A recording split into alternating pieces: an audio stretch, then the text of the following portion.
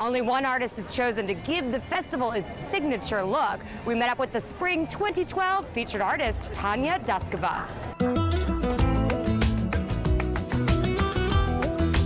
I can describe my, my art with two words, magical realism. Before Bulgarian-born Tanya Doskova became an international award-winning artist, she began her career in the computer animation industry. But what can I do? Creating special effects for blockbuster films like Babe, Pig in the City. I'm a figurative artist. I do figurative compositions and I depict sometimes the people like animals and uh, the other way around, the animals like people. The latest technique that I'm using is digital painting.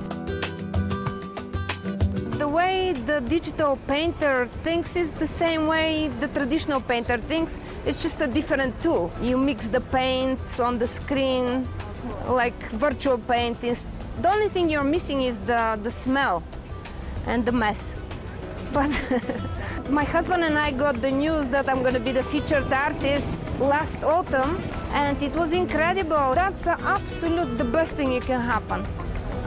Better than any award because it uh, puts you out there. I mean, your image is on everything.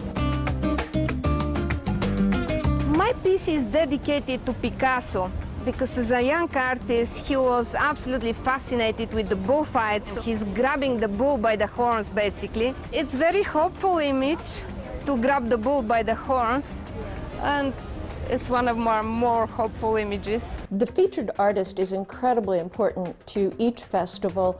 We take a great time in not only looking at the artwork itself that is produced by the artist, how it looks in print, how colorful it is, and to also pick someone fresh each time, someone different that highlights uh, a different form of art.